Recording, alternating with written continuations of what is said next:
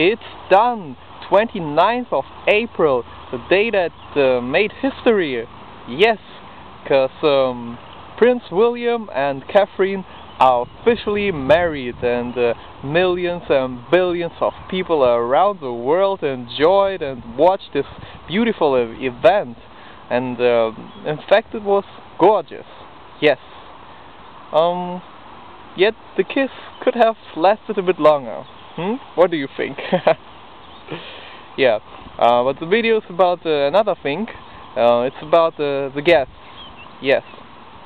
As you know, uh, the likes of um, Elton John or Guy Ritchie, David Beckham were among the guests. And um, my question is, um, who, in your opinion, was missing during this uh, great royal wedding? So I'm looking forward to your comments and uh, just name a few persons, say who and why. I'm looking forward.